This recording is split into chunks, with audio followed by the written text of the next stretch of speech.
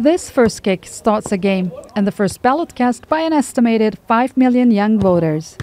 They're expected to play a major role in determining Turkey's future in tight presidential and parliament elections on May 14. None of them have known any leadership other than that of President Recep Tayyip Erdogan and his governing AK Party. Mustafa Kemal would have voted for Muharrem İnce if he hadn't pulled out of the race. The economy is terrible. This government needs to change. They've been in power for so many years now. I think he can fix the problems, especially the education and economy. He should send the migrants back to their countries. According to one survey, the number of young people who feel content with their life and optimistic about the future has been declining for the last five years. The biggest concern for them is high inflation and unemployment. Duru is one, and she says she will vote for main opposition leader Kemal Kılıçdaroğlu, who represents six-party opposition bloc known as the Table of Six. Uh, I want a better economy. If we had better future prospects here, we wouldn't want to go abroad. Migrants upset me. Yes, there should be refugee rights, but some measures should be taken.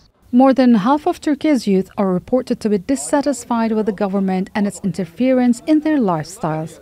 They're worried about a lack of job opportunities. However, Bahadur, a member of the ruling party's youth group, says the opposite. I don't think the opposition has any feasible plans to fix the economy. Many engineering students these days have a dream to work in national industries rather than going abroad. I have no doubt in my future. First time voters will make up 12% of the electorate in the upcoming elections.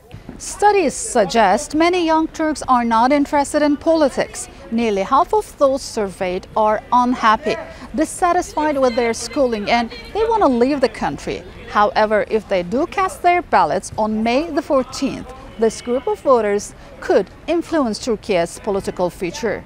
Turkish youth is widely regarded as politically savvy, and whoever addresses their concerns is likely to be able to secure their support. Sinem Köseoğlu, Al Jazeera, Istanbul.